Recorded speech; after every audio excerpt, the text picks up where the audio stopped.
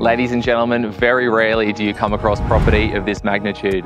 Behind me is a brand new acreage residence spanning across more than two hectares of land. Not only is this a brand new home, it offers a two bedroom granny flat, a swimming pool and a horse arena. Ladies and gentlemen, this is one you're gonna love to call home. Come check this out.